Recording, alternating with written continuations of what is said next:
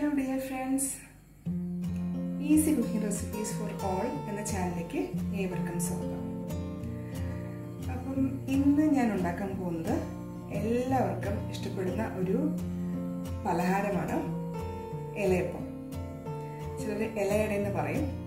അപ്പം ആ ഒരു പലഹാരമാണ് ഇന്ന് ഞാൻ ഉണ്ടാക്കാൻ പോകുന്നത്. അതിന്റെ ഇൻഗ്രീഡിയൻസ് എല്ലാവർക്കും അറിയാവുന്ന ഒരു കാര്യമാണ്. ഞാൻ ഇൻഗ്രീഡിയൻസ് എല്ലാം എടുത്ത് വെച്ചിട്ടുണ്ട്.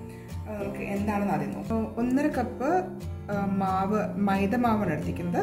നമുക്ക് വേണമെന്നുണ്ടെങ്കിൽ നമുക്കിത് അരിമാവിലും അതുപോലെ തന്നെ ഗോതമ്പ് മാവിലും ചെയ്യാം. പിന്നെ തേങ്ങ ശർക്കര ഏലക്ക പൊടിച്ചത്. ഏലക്ക ഞാൻ കുറച്ച് പഞ്ചസാരയും വെച്ചിട്ടാണ് പൊടിച്ചിരിക്കുന്നത്. അല്ലെങ്കിൽ പൊടിയത്തില്ല. അപ്പോൾ അതുകൊണ്ട് ഞാൻ കുറച്ച് പഞ്ചസാരയും വെച്ചിട്ടാണ് പൊടിച്ചു വെച്ചിരിക്കുന്നത്. ഇതിന്റെ മാവ് എങ്ങനെയാണ് കുഴക്കേണ്ടതെന്ന് നമുക്ക് നോക്കാം.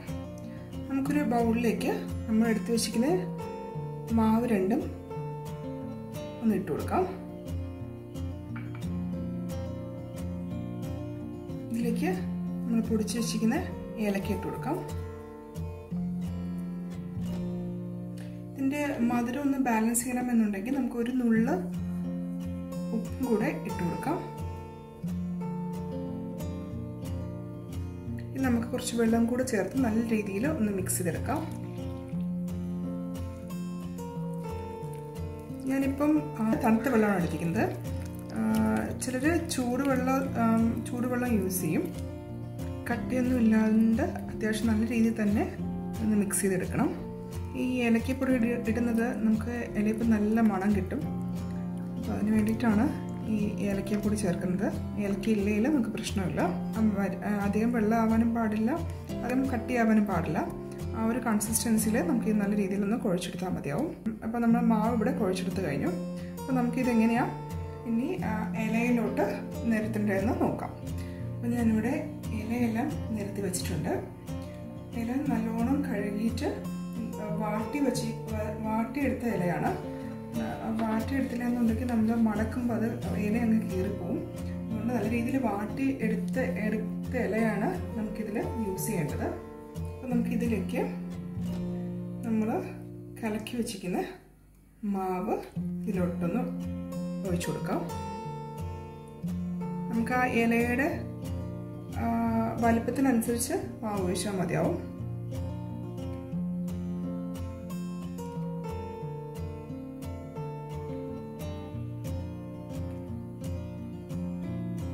നമുക്കിതിനി നല്ല രീതിയിലൊന്ന് നിരത്തി കൊടുക്കാം.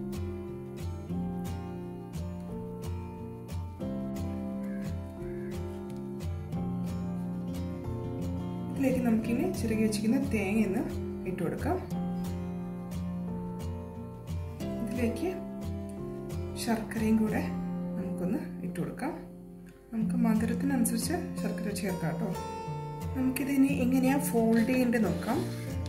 നമുക്ക് ആദ്യം ഒരു സൈഡ് മടക്കി കൊടുക്കാം.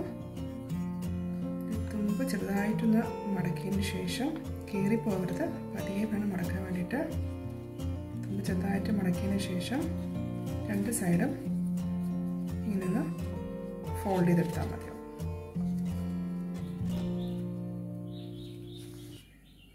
നമ്മൾ ഇങ്ങനെയാണ് മടക്കേണ്ടത് ഇലയപ്പത്തിന്. നമുക്ക് വാഴയില ഇല്ലാന്നുണ്ടെങ്കിൽ നമുക്ക് പൊരിയണ ഇല എടുക്കാം.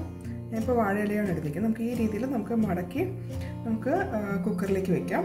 ഒരു ഇഡ്ഡലി കുക്കറിൽ നേരത്തെ തന്നെ കുറച്ച് വെള്ളം എടുത്തിട്ടുണ്ട്. അതിലേക്ക് നമുക്ക് ആദ്യത്തെ തട്ട് മാത്രം ഒന്ന് വെച്ച് കൊടുക്കാം. അപ്പോൾ നമുക്ക് ഇതിലേക്ക് നമ്മൾ മടക്കി വെച്ചിരിക്കുന്ന ഇല ഓരോന്നായിട്ട് വെച്ച് കൊടുക്കാം.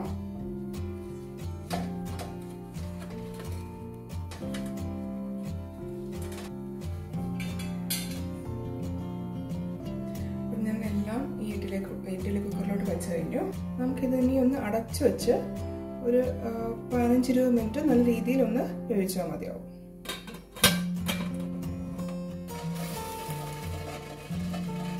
നമ്മുടെ ഇലയപ്പം നല്ല രീതിയിൽ ഇലയപ്പം നല്ല രീതിയിൽ ഒന്ന് വെന്ത് വന്നിട്ടുണ്ട്. ഇത് കുറച്ചൊന്ന് തണുത്തതിന് ശേഷം എടുക്കുന്നതായിരിക്കും നല്ലത്. നമ്മുടെ സ്വാദിഷ്ടമായ ഇലയുടെ അഥവാ ഇലയപ്പം ഇവിടെ റെഡിയായി കഴിഞ്ഞു.